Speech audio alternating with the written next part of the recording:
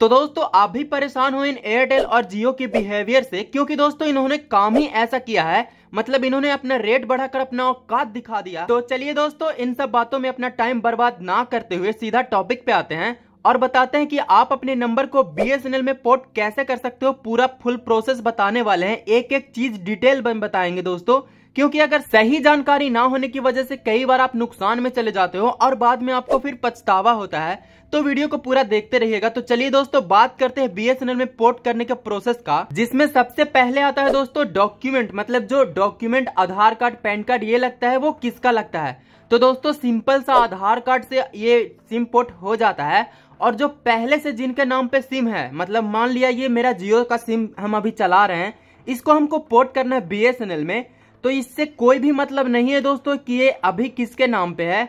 अब आप किसके नाम से करवाना चाहते हो, वो मैटर करता है। मतलब पहले से किसी के भी नाम पे हो, उससे कोई भी दिक्कत नहीं है। अब आप किसके नाम पे न्यू सिम लोगे मतलब पोर्ट करवाओगे। जैसे कि बीएसएनएल में हमें पोर्ट करना है तो आप जिसका भी डॉक्यूमेंट दोगे, उसके नाम से ये वाला नंबर आपका रजिस्टर्ड हो जाएगा। मतलब कि अगर ये आपके पापा का नंबर है तो ज़रूरी नहीं है कि ये आपके पापा ही आएँगे तो पोर्ट होगा। आपके नाम से भी ये पोर्ट हो जाएगा और इससे ये फ़ायदा होता है कि अपने किसी फैमिली के नाम से सिम चला रखा है बहुत दिन से तो ये आपका नाम से भी हो जाता है दोस्तों। तो इसलिए डॉक्यूमेंट का प्रोसेस यही था और डॉक्यूमेंट में दोस्तों आपका 18 साल मिनिमम होना ही चाहिए, तभी आपका सिम पोर्ट होगा या फिर न्यू भी ले सकते हो।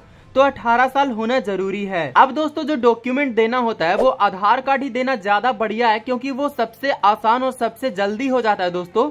उसमें आपको आधार नंबर लगता है और आपका फिंगर लगता है। मतलब आपके नाम से अगर सिम पोर्ट करवाना है तो आपको वहाँ पे जाना पड़ेगा। आपका एक फ़ोटो लिया जाएगा, लाइव फ़ोटो, और आपका फिंगर भी लिया जाएगा दोस्तों बायोमेट्रिक सिस्टम से। और आपका आधार नंबर वहाँ पे डालकर आपके नाम से सिम को एक्टिवेट कर दिया जाता है। अब बात करते हैं दोस्तों कि टाइम कितना लगता है सिम चालू होने में।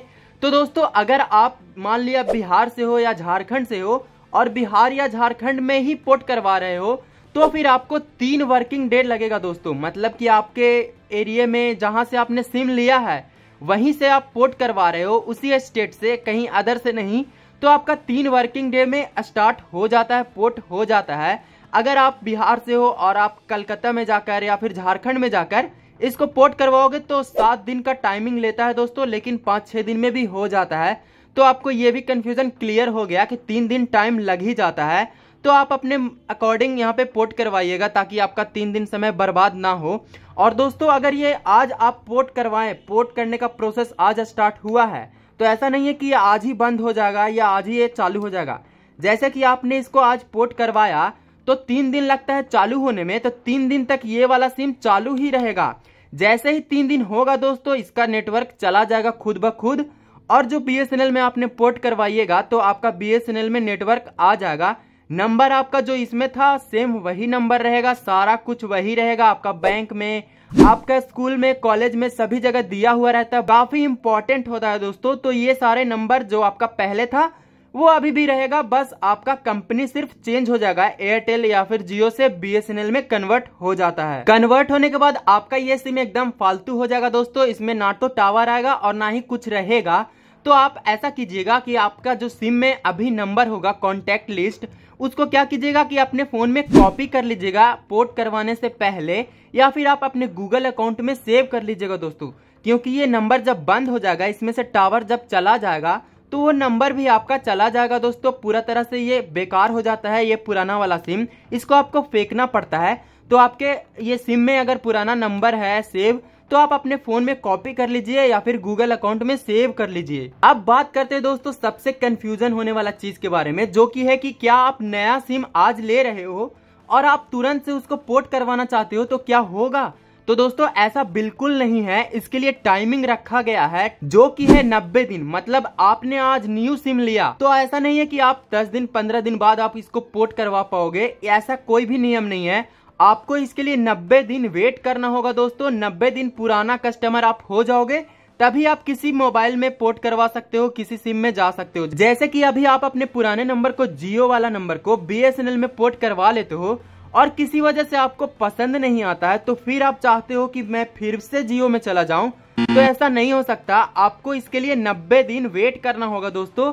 तभी आप दोबारा फिर से आप पोर्ट करवा सकते हो। ऐसा नहीं है कि तुरंत न्यू सिम लिए और तुरंत से पोर्ट करवा दिए। ऐसा बिल्कुल भी नहीं है। या फिर आप न्यू सिम अगर चालू करवाओगे, दुकान में जाकर नया सिम खरीदोगे तो वो भी पोर्ट होने में नब्बे दिन लगेगा। मतलब उसको आप जल्द से जल्द तुरंत से पोर्ट नहीं करवा सकते। उसमें नब्बे दिन का टाइमिंग रहता है, ये नियम ही है। अब बात करते हैं दोस्तों, एक और कंफ्यूजन की, जो की है कि अगर आपके नंबर में रिचार्ज खत्म हो चुका है तो क्या आपने पोर्ट करवा सकते हो अपने नंबर को? तो ऐसा बिल्कुल भी नहीं है दोस्तों। अगर आपके मोबाइल नंबर पे रिचार्ज रहेगा, तभी आप पोर्ट करवा पाओगे। क्योंकि दोस्तों पोर्ट करवाने के लिए आपके मोबाइल नंबर से एक एसएमएस भेजा जाता है, और वो एसएमएस तभी जाएगा जब आपके मोबाइल में पैसा होगा रिचार्ज होगा। और ऐसा भी नहीं है कि पाँच रुपए, दस रुपए या बीस रुपए का रिचार्ज करके आप वो मैसेज भेज सकते हो। ऐसा नहीं है। आपको उसके लिए अनलिमिटेड पैक होना चाहिए जिसमें आप आउट गोइंग एस कर सकते हो।